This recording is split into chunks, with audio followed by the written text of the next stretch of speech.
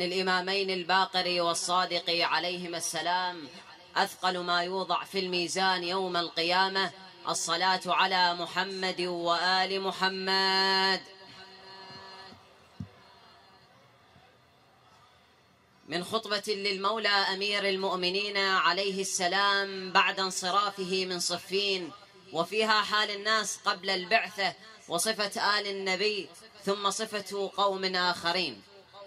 قال فيها عليه السلام أحمده استتماما لنعمته واستسلاما لعزته وأستعينه فاقة إلى كفايته. إنه لا يضل من هداه ولا يئل من عاداه ولا يفتقر من كفاه. فإنه أرجح ما وزن وأفضل ما خزن وأشهد أن لا إله إلا الله. شهادة ممتحنا اخلاصها معتقدا مصاصها. نتمسك بها ابدا ما أبقانا وندخرها لأهاويل ما يلقانا. فإنها عزيمة الإيمان وفاتحة الإحسان ومرضاة الرحمن ومدحرة الشيطان. وأشهد أن محمدا عبده ورسوله. أرسله بالدين المشهور.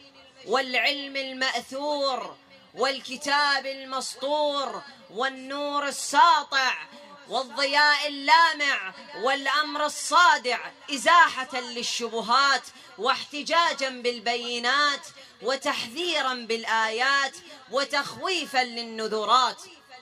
فالناس في فتن انجلم فيها حبل الدين وتزعزعت سواري اليقين واختلف النجر وتشتت الأمر وضاق المخرج وعمي المصدر فالهدى خامل والعمى شامل عصي الرحمن ونصر الشيطان وخذل الإيمان. فانهارت دعائمه وتنكرت معالمه وعفت شركه. أطاعوا الشيطان فسلكوا مسالكه ووردوا مناهله. بهم قامت أسواقه وسارت أعلامه. في فتن داستهم بإخفافها ووطأتهم بإضلافها وداست على سنابكها. فهم فيها تائهون حائرون جاهلون مفتونون. في خير دار وشر جيران. نومهم سهود وكحلهم دموع. بأرض عالمها ملجم وجاهلها مكرم. ومنها يعني آل النبي. هم موضع سره ولجأ أمره وعيبة علمه وكهوف كتبه وجبال دينه. بهم أقام انحناء ظهره وأذهب ارتعاد فرائصه. ومنها يعني قوما آخرين زرعوا الفجور. وسقوه الغرور وحصدوا الثبور. لا يقاسب آل محمد من هذه الأمة أحد ولا يساوى بهم من جرت نعمتهم عليه أبدا. فهم أساس الدين وعماد اليقين إليهم يفيء الغالي وبهم يلحق التالي. الآن إذا رجع الحق إلى أهله ونقل إلى منتقله. صدق مولانا ومولاكم أمير المؤمنين عليه السلام. وجعلنا الله وإياكم من الفائزين بشفاعته. آمين رب العالمين. وأختم حديثي بقول عنه عليه السلام في فضل قراءة القرآن.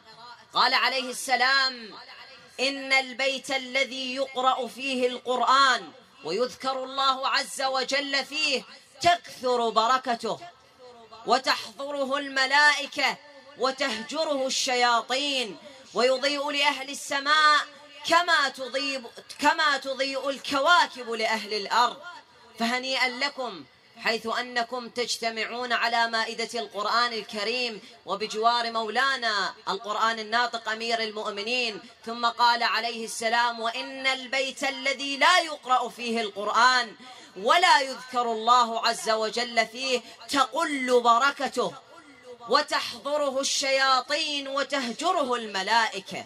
أجارنا الله وإياكم. آمين رب العالمين. وأفضل الصلاة وأزكى التسليم على المبعوث رحمة للعالمين محمد وآله الطيبين الطاهرين.